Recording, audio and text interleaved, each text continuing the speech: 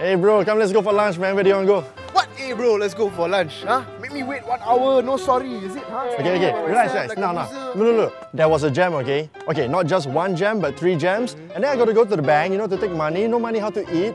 And hey, to get here, I need petrol, man. So I need to pump petrol. Never lah, you and your excuses. I tell you, huh? It's just never ending. No, one day is like this, one day is like that. No, this is this. I mean, it's true, man. It's true. Now, that is an argument, something I'm sure we all had. But the thing is this: it is seldom logical, unlike mathematical reasoning.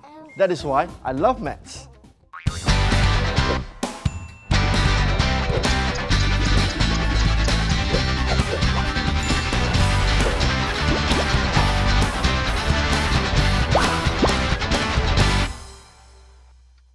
Mathematical reasoning involves making sense of statements of a mathematical context.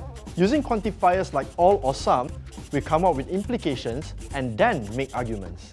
An argument is a process of making a conclusion based on given statements called premises.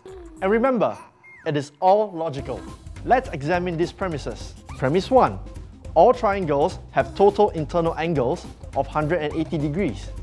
Premise 2. PQR is a triangle. So, the conclusion that we can safely draw is that PQR has total internal angles of 180 degrees.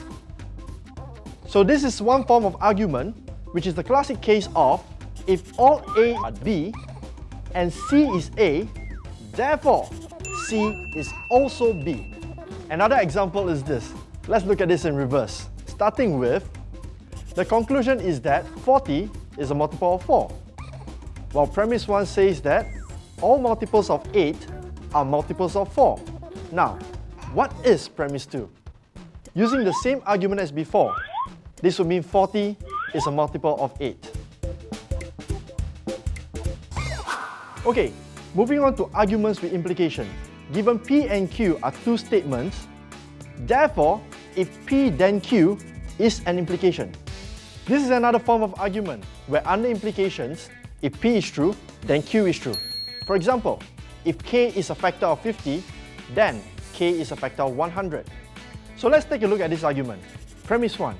If a polygon is a right angle triangle, then one of its internal angle must be 90 degrees. Premise 2.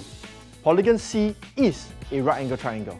Since we know that polygon C is a right angle triangle, satisfying P, then the implication is Q. Therefore, one of the internal angle of polygon C must be 90 degrees. So now we know that if P is true, then Q is true. Using the same reasoning, another argument is, if not Q is true, then not P is true. So let's take a look at this example. Premise 1. If x equals 8, then x is a multiple of 4. Premise 2. x is not a multiple of 4. So let's look at P and Q. Then look at the second premise. Since not Q is true, then not P is true. Therefore, x is not 8. So let's have a quick recap of the three forms of argument. Argument 1. If all A are B and C is A, then C is also B. Argument 2. If P then Q, if P is true, then Q must be true. Argument 3. If P then Q, if not Q is true, then not P must be true. I'm Noel Chia, and I'll see you in the next episode of SPM Top Tutor Mathematics.